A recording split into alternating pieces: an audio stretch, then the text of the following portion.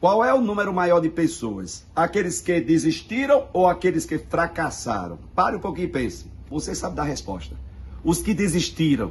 Realmente, esses que desistiram, o número é muito grande. Se você está pensando em desistir, você pare de pensar em desistir. Porque, na verdade, aquele que desiste já é fracassado. Aquele que desiste já está fracassado. Aquele que desiste está contabilizado como os fracassados. Porque se você não desistir, você nunca vai ser fracassado. Você nunca vai ser fracassado. Compreendeu? Uma pessoa que continua tentando, uma pessoa que não desiste, ela não pode ser chamada de fracassada de jeito nenhum. Porque ela aprendeu como não fazer. Ela aprendeu, mas tentou. Ela aprendeu e continuou tentando. Ela aprendeu, mas tentou e decidiu. Agora, uma pessoa que não decide, ela já é fracassada. Compreende? Uma pessoa que não tenta, ela já é fracassada. E ficar repetindo para você mesmo que você é um fracassado, pare disso, rapaz. Você ainda está tentando. Ficar repetindo para você mesmo que você não consegue, que é um fracassado, você ainda está de pé, seu coração ainda está pulsando, você ainda está respirando. Então, decida. Sou eu, Padre Arlindo. Bom dia, boa tarde, boa noite, mas menino, xoxoxox. Fracassado você não é, não.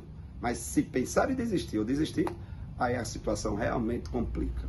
Oxo, oxo, oxo, menino.